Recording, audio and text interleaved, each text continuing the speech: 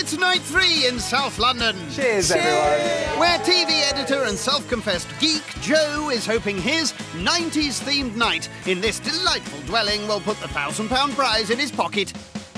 I think everyone seems to be quite excited about it, and everyone's made a cracking effort. Like, Felicia looks so sick.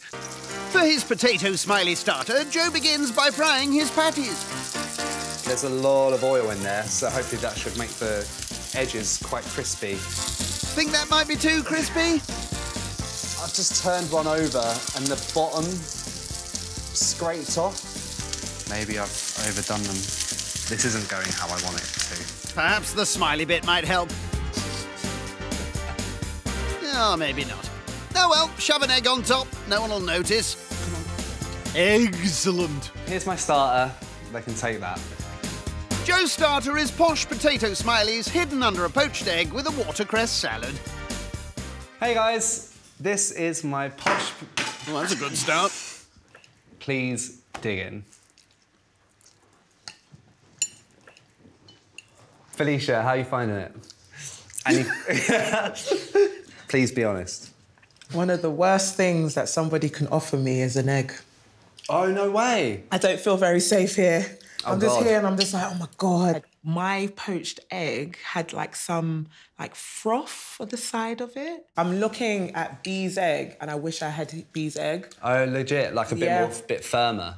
or No, his egg looked a little bit more attractive than mine. ah, you're kidding. Yeah. I like the little, very Instagrammable, runny yolk, hit it, and want it to just ooze out. Yeah. This is slightly overdone for me. For me, it was just maybe a little bit bland. I was oozing like out of this. There was a lot of oozing going on.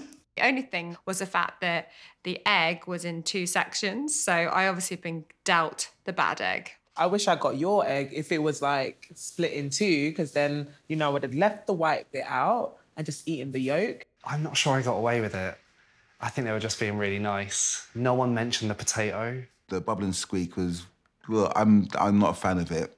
Where was the smiley face in the um, posh smiley face? The decoration, by the way, I feel very much at home here right now. Oh, yeah? My dad used to have one of those phones. Oh, yeah? What 90s song do you think represents each of us? Gabrielle. Sunshine through my window. And you've tune. got a really good voice. Girl, this voice is not good, but thank you. I am definitely Gabrielle. Um, with a hint of Macy. B.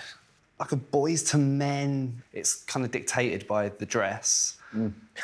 The dress. What are you guys talking about? Where's the men? No, not Yeah, not with the Boyz II Men. suits. Yeah, yeah. So wait, uh, so wait, is this your impression? No, I'm or- sorry, Okay, but hold on, hold on. So what's your impression? Sorry, what's your impression again?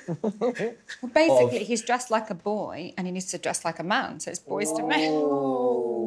Boyz II Men song. No, no, no, no. Who who are they? Do you know what I mean?